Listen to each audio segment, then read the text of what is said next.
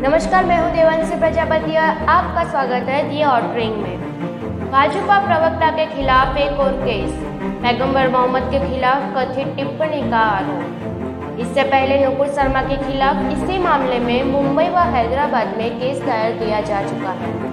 आरोप है कि एक न्यूज़ चैनल पर चर्चा के दौरान उन्होंने पैगंबर के खिलाफ आपत्तिजनक टिप्पणी की थी।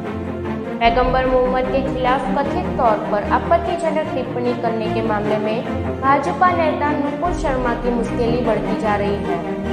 उनके खिलाफ अब महाराष्ट्र के पुणे पुलिस ने केस दर्ज किया है।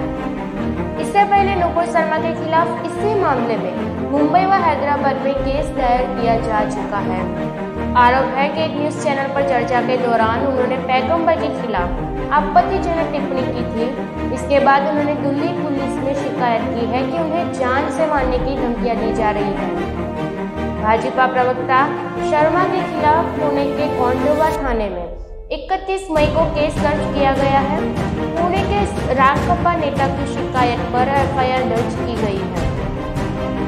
इससे पहले भारतीय सुन्नी मुसलमानों के सुन्नी बरेली संगठन रजा अकादमी के शिकायत के बाद शर्मा के खिलाफ मुंबई में बांधवी की धारा दो सौ पिचानवे ए, एक सौ तिरपन ए और पाँच सौ पाँच बी के तहत केस दर्ज किया गया है।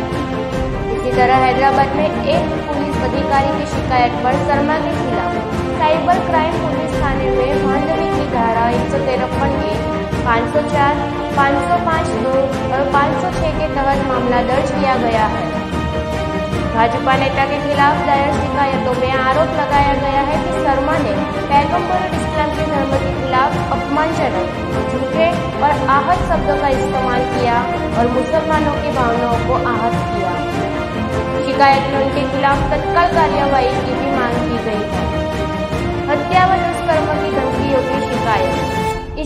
इससे 27 मई को शर्मा ने शिकायत की कि उन्हें सोशल मीडिया के ज़रिए हत्या व दुष्कर्म की धमकियाँ दी जा रही है। उनका आरोप है कि एक तथाकथित फैक्ट चेक ने ज्ञानवापी मस्जिद मामले पर एक टीवी चैनल पर उनकी हालिया बहस का वीडियो तोड़ मरोड़ व संपादित कर प्रसारित किया।